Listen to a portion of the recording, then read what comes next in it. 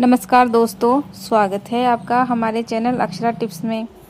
Friends, Ayurveda में सुहागे का उपयोग हमारी स्किन, हमारी हेल्थ, हमारी बॉडी के लिए किया जाता है। दोस्तों, क्या आप जानते हैं सुहागा हमारी सेहत के लिए और हमारी स्किन के लिए कितना फ़ायदेमंद होता है? आयुर्वेद में सुहागे को टंकण भस्म के रूप में जानते हैं और इंग्लिश में इसे बोरेक्स कहते हैं। लेकिन सुहागे को बच्चों की पहुँच से दूर रखना चाहिए। आप किसी भी पंसारी की दुकान पर जाके अगर सुहागे को मांगोगे तो वो आसानी से मिल जाएगा। सुहागे की प्रकृति गर्म होती है। जब भी आप इसे इस्तेमाल करें, इससे पहले इसको शुद्ध कर लेना चाहिए। इसके लिए सुहागे को गर्म तवे पर गर्म करें। जब यह पानी बन जाए, तब इसको ठंडा करके बारीक चूर्ण बना लें, क्योंकि आपने इसको अक्सर सुनार की दुकानों में देखा होगा। ये धातु को चमकाने के काम आता है। तो चलिए देखते हैं सुहागे का उपयोग घरेलू नुस्खों में। 20 ग्राम सुहागा 10 ग्राम कपूर को 50 मिलीलीटर उबले पानी में मिलाकर बाल धोने से बाल मुलायम और काले हो जाते हैं। 50 ग्राम सुहागे को 10 ग्राम कच्चे सुहागे और 250 मिलीलीटर पानी में डालकर उबालें। इसको ठंडा होने पर बालों को धो लें तो बाल मज़बूत बनते हैं।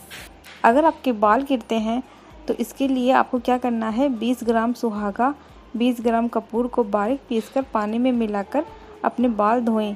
इस इस पानी से बाल धोने से आपके बालों का गिरना कम हो जाएगा।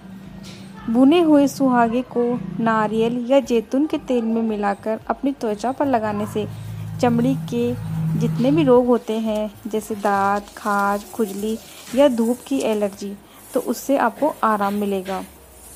सुहागे को नीम के पत्तों का पाउडर मिलाकर पेस्ट तैयार करें और इसे अपने सिर पर लगाएँ।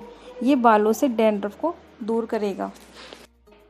एक चम्मच पिसा हुआ सुहागा एक बाल्टी पानी में मिलाकर नहाने से अधिक पसीना आना और शरीर की दुर्गंध आना बंद हो जाती है। अगर आपके सिर में डैंड्रफ है तो 50 ग्राम सुहागे को तवे पर भूनकर पीस, एक चम्मच नारियल तेल और एक चम्मच दही दही को मिलाकर सिर में लगाएँ और आधे घंटे बाद अपने सिर को धो लें।